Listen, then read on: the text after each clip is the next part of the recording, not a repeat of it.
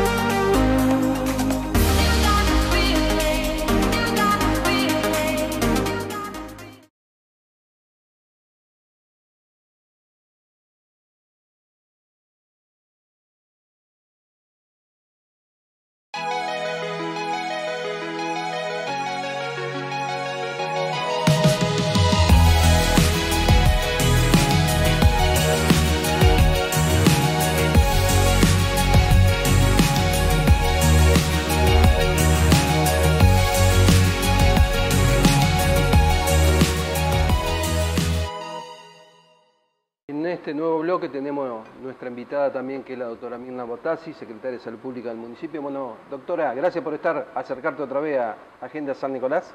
No, por favor, gracias a vos por eh, invitarme, por estar siempre junto a, a nosotros, junto al municipio y las distintas áreas, acompañándonos en la parte de, de información eh, y eh, acercándonos a la comunidad a través de, de este medio. ¿no? Así que desde ya muchísimas gracias.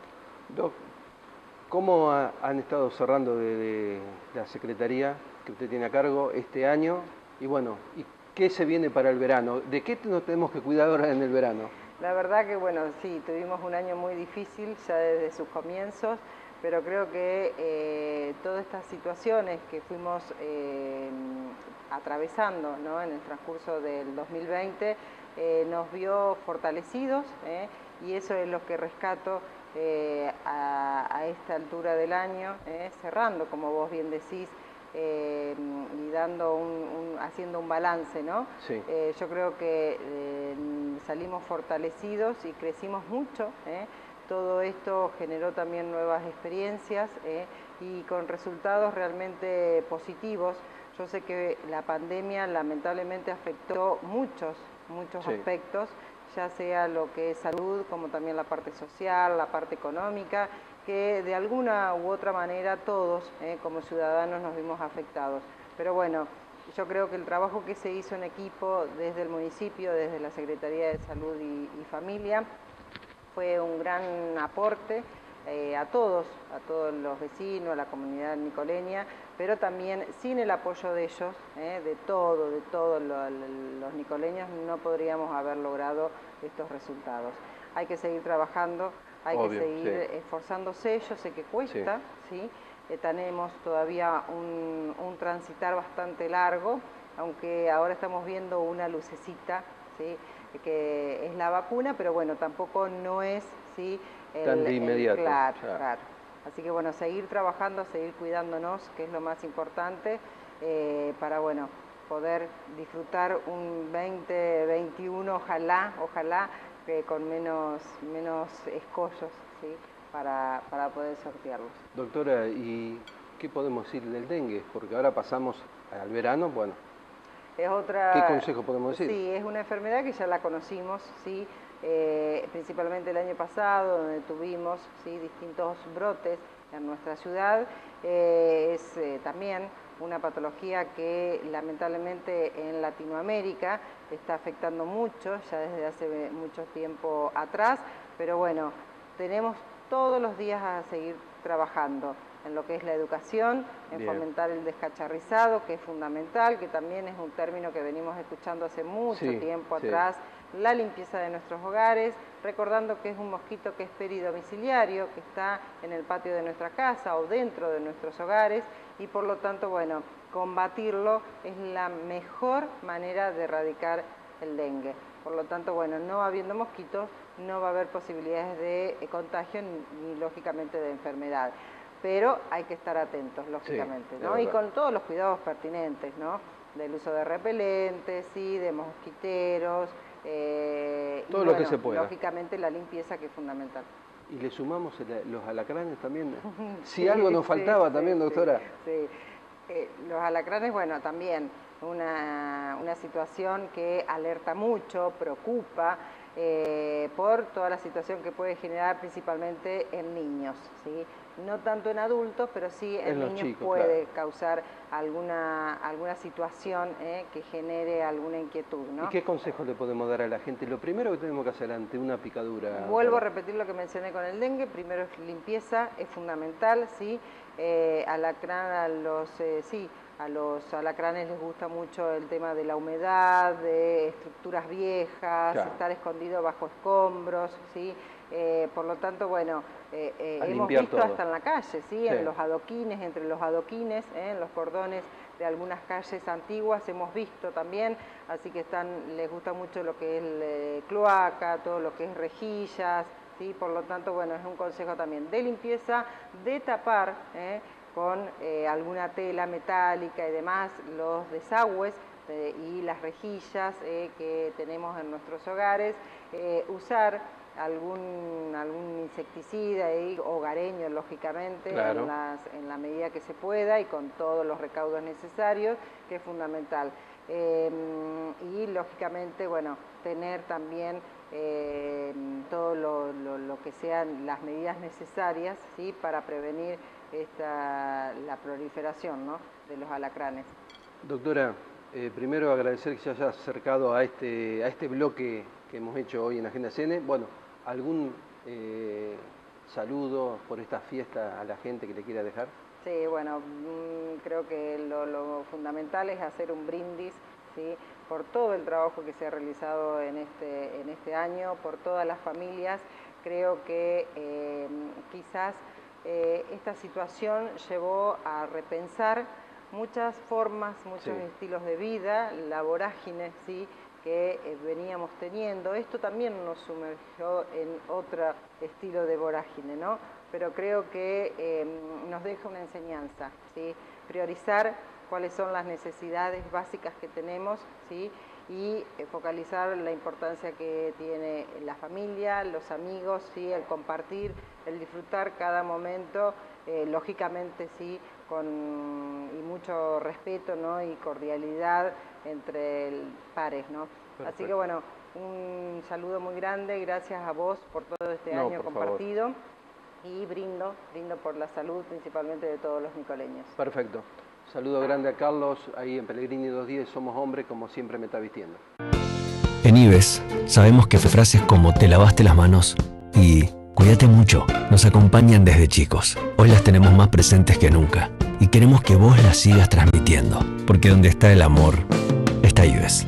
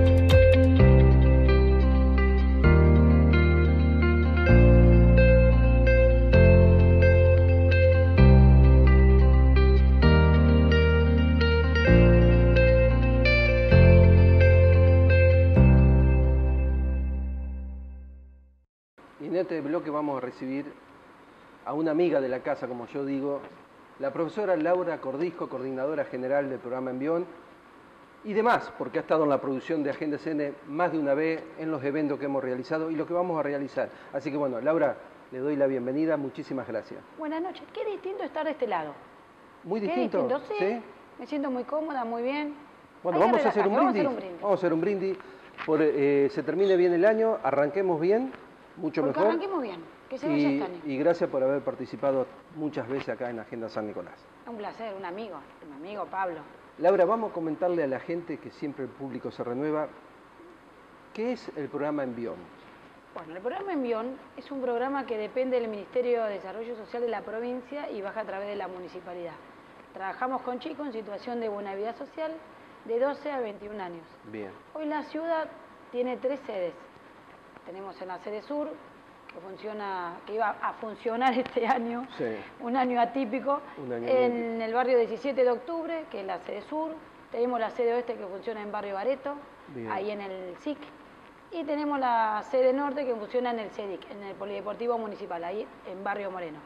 Trabajamos, como te decía, con chicos en situación de vulnerabilidad social, ¿En qué edad, eh, de 12 a 21 años. Ah, y con ejes fundamentales, educación, salud, trabajo, inserción en el trabajo hoy que los jóvenes lo que más necesitan. Bastante amplio. Así que bueno, es un programa que hace más de 10 años que está en la ciudad, somos una de las primeras ciudades que llega al programa, te Ah, vuelvo a bien, repetir a través del bien. ministerio. Así que bueno, somos una ciudad que está muy bien vista en, en el Ministerio de Desarrollo Social de la provincia, tienen a San Nicolás eh, dentro de, de sus ciudades muy importantes donde funciona el programa, gracias a Dios. Así que bueno, trabajando con un equipo muy amplio, un equipo técnico muy amplio, Es grande, un equipo interdisciplinario, tenemos asistentes sociales, psicólogos, profesores de educación física, de arte, tenemos gente que le da a los chicos cocina, maestras. Pero ¿cómo sea, es el circuito? Usted- ellos están en su casa, Sí. vendría a ser como un centro de día grande, ¿eh? Donde Ellos los van- chicos van a la escuela y Sí. van al programa en contraturno Ah, de la ah, escuela. Ah, ahí está. Eh, pero ellos están en sus hogares y bueno, y al programa ¿Y obviamente... ellos se acercan o ustedes hacen como un... Nosotros nos acercamos, obviamente hay operadores barriales dentro del equipo técnico, trabajamos con los presidentes de barrio, trabajamos con las escuelas. Entonces, bueno, vamos captando chicos, Ahí. recorremos, nos dicen, te vuelvo a repetir, desde la escuela, de las comisiones vecinales, nos acercamos y los invitamos a participar que- claro, programa. ahí está, ahí con un cronograma de actividades, obviamente, porque bueno, esto es como una escuela, los chicos tienen horario de entrada, Claro. de salida, Ah, bien, asistencia, nos acercamos nosotros a la escuela, a hablar con los profesores, con los directivos, si los chicos necesitan puntualmente alguna ayuda escolar, eh, más profunda, digamos. Y bueno, y así eh, preparamos informes de los chicos porque así lo requiere la provincia. Entonces, bueno, es toda una organización donde cada sede tiene su equipo técnico. Y en este año especial siguieron con la misma temática. No, este año, año atípico, la verdad que el equipo del programa Envión ha trabajado sobre una logística día a día, eh, trabajada- trabajando en diferentes lugares. Hemos tenido técnicos que han estado en el programa Detectar en los Barrios, junto a Nación, junto a Provincia y también nosotros como municipio. Hemos tenido chicos que han estado en la carpa, esa famosa carpa roja que se encontraba Sí, sobre calle sí, Moreno. sí. Eh, bueno, han estado los chicos ahí, hemos tenido chicos técnicos, porque si, tengo que decir técnicos, porque si no me tiran la oreja, porque son técnicos del programa, han estado en, en el hotel también, eh, y bueno, y obviamente eh, siempre, siempre estando en contacto con los destinatarios del programa. ¿Conforme con todo lo que se ha hecho en este tiempo, Laura? Sí, la verdad que tenemos un equipo excelente, obviamente, como siempre digo, la cabeza de algo es fundamental para poder trabajar en equipo. Hoy la cabeza nuestra es María Rosa Méndez y atrás venimos todos nosotros eh, trabajando en equipo, que de eso se trata. Para los chicos, Claro. para los ciudadanos de acá de San Nicolás y bueno, en un año muy, muy atípico como te dije, pero bueno, trabajando el día a día con esta pandemia y bueno, y obviamente vuelvo a repetir, en un trabajo excelente, codo a codo con, con toda la gente de, de desarrollo social. Y ahora que entramos ya en periodo de verano, ¿cómo se van a estar manejando? ¿A- ¿Cuándo vuelven a arrancar, digamos? Mira, nosotros ya eh, a partir de diciembre arrancamos de a poco con los destinatarios del programa, Ajá. volviendo a la sede, Bien. eh, invitando a los chicos en pequeños grupos a seguir participando de las actividades. Obviamente, nosotros lo que enfocamos hoy es al apoyo escolar, porque los chicos, bueno, por ahí le ha costado eh, el tema de las actividades en la escuela, de con la, la conectividad, de que no han hecho los trabajos. Entonces, bueno, hoy empezamos el programa a- con el tema de apoyo escolar, fundamental. Y en el verano vamos a ir trabajando por pequeños grupos que son los equipos técnicos los que van a ir convocando a los chicos eh, con un protocolo y bueno, iremos trabajando sobre actividades recreativas, pileta, deporte, arte, cocina, pero siempre de a poco. Bastante amplio, Laura, es el, el- el programa, ¿cierto? O sea que Sí, los sí, chicos se pueden que- insertar en alguna actividad que realmente a Sí, le- no, le, favorece. La, la verdad que, que los destinatarios, eh, buenísimos, muy, muy eh, encariñados con el programa, con su lugar de pertenencia, que son las sedes. Dentro del programa también tenemos tutores, que son los que nos dan una mano con la asistencia de los chicos, a ir a buscarlos, que también fueron Claro. destinatarios, y bueno, y a raíz de su desempeño, de su compromiso, todo, han escalado Bien. esto de ser tutores, Ah. con la idea de que también tenemos chicos que han pasado por diferentes etapas de destinatarios, tutores y hoy forman parte del equipo técnico. Ah, muy Así bien. que bueno, eh, vamos Todo un buscando, proceso. sí, todo un proceso que obviamente, vuelvo a repetir, es un gran trabajo en equipo. Eh, aprovecho para saludar a todos los Sí. técnicos del programa, a mis compañeros, porque por más que sea la coordinadora del programa, soy parte de un gran equipo. ¿Y de cuántas personas estamos hablando el equipo de, que tiene que ver con el programa en vivo? Y más de Laura? 30 personas. Muchísimo. Más de 30 muchísimo, personas. muchísimo. Pero bueno, se trabaja codo a codo, con mucha disponibilidad por parte de los chicos y bueno, un año que la verdad que por ahí me ha tocado un poco hacer la parte de logística en el diario, en la semana, en el mes. Sí, sí. Eh, el hecho de que los técnicos tengan las disponibilidades y sabiendo que tenemos que enfrentar esto que es una pandemia, la verdad que agradecidísimo, agradecidísimo con todo O eso. sea, es un programa que es necesario para la ciudad, ¿no? Sí, sí. Hoy la- los jóvenes necesitan de, de estar activos, Claro. de moverse, de, de encontrar su lugar. Estar contenido también, Estar ¿cierto? con- obviamente, ¿Eh? estar A través de diferentes disciplinas, pero que estén Obviamente, contenido. obviamente es fundamental. Bueno, de hecho, hoy la ciudad está preparada para que el chico vaya a la escuela, para que participe de un programa, para que pueda acceder a una beca deportiva. O sea, hoy la municipalidad eh, trabaja en un equipo donde todos los ciudadanos pueden acceder a un montón de cosas que Y está la- brindando. Bueno, Laura, los últimos 30 segundos para algún mensaje en, este, en estos momentos tan especiales de que se acercan las fiestas.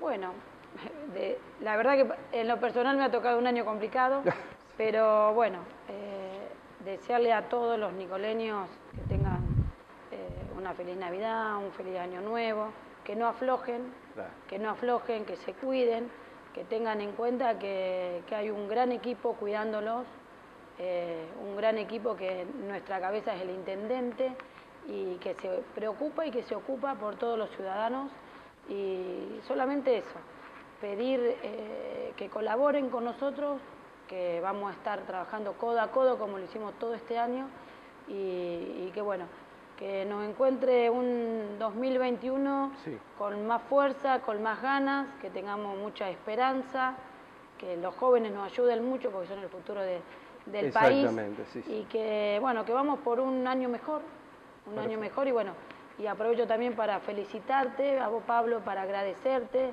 para poder dejarme ser parte de este programa No, que es muy importante, que la gente tiene que Encantado de la entender vida, Laura, que que estés. esto es un programa muy importante que todos los ciudadanos tienen que conocer lo que se hace en nuestra ciudad. Eh, y bueno, y, y te vuelvo a repetir, agradecerte por dejarme estar acá, porque eh, la verdad que haces un programa eh, que le pone mucha garra. Y bueno, que te quiero mucho y que Ya ojalá podamos Recíproco, seguir eh, estando juntos. Por ¿eh? supuesto, por Y supuesto. vamos, Vamos que el brindar. 2021 nos encuentre con más fuerza. ¿eh? Muy bien. Vamos, San Nicolás. Gracias por haber pasado por Agenda San Nicolás. Audio Jungle.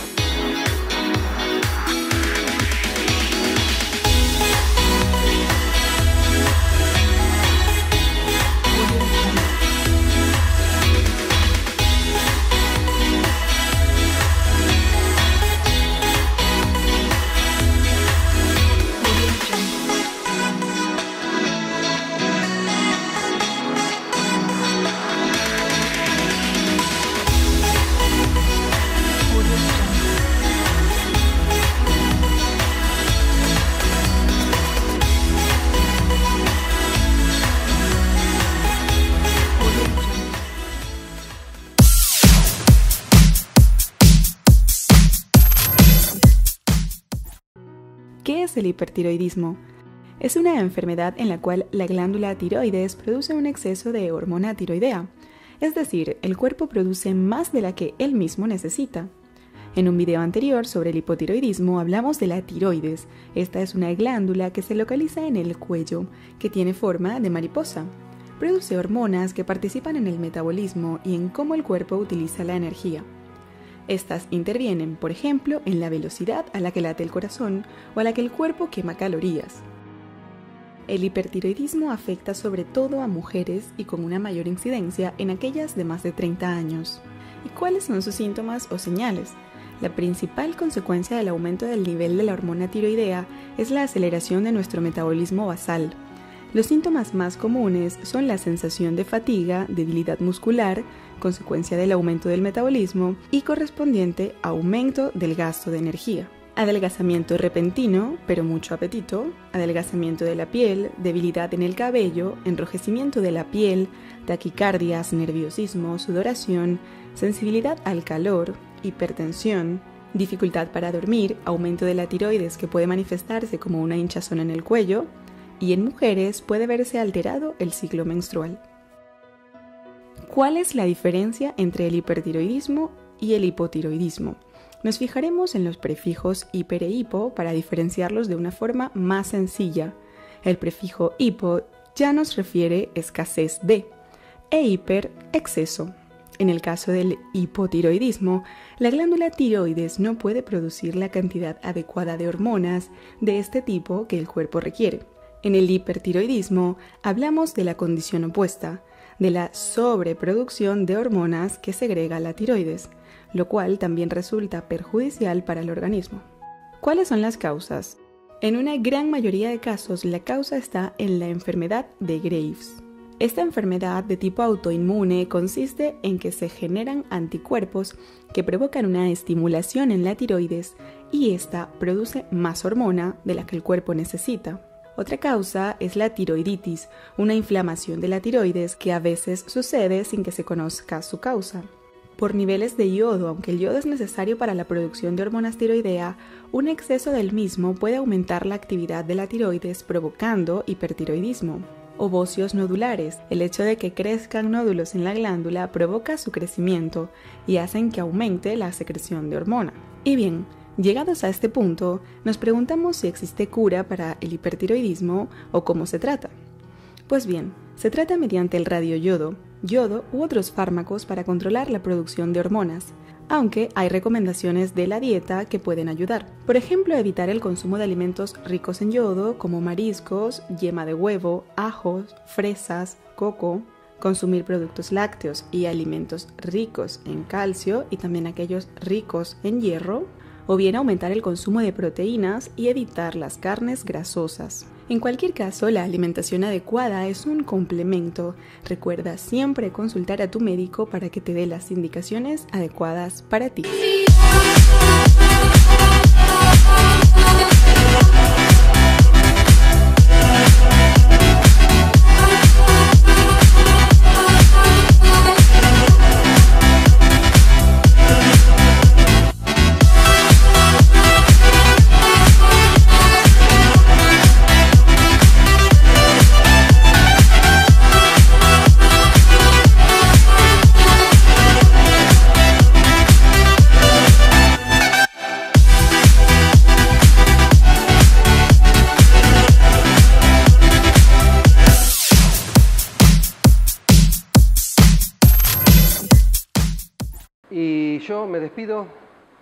Quieren volver a ver este programa, pueden ser mañana jueves, 21 horas, viernes 14.30 horas, sábado 15 horas y la última repetición el lunes 18.30 horas. Pero también acuérdense que estamos por la página de Facebook del canal Nicoleño y la página de YouTube, ahí donde hay más de 80.000 seguidores. Bueno, también estamos saliendo con ellos también. Así que bueno, nos reencontramos la semana que viene. Gracias Maximiliano Álvarez, Rocío Viva, que es nuestra moza durante todo este año, que nos ha acompañado y nos ha servido también. Eh, ¿La pasó bien entonces, Laura? ¿Comió bien? Excelente, excelente como siempre. Como siempre. Como siempre. Perfecto. Así que bueno, nos reencontramos, si Dios quiere, el año que viene, que tengan un excelente fin de semana, felices fiestas y un buen año 2021 para todos. Chau, chau.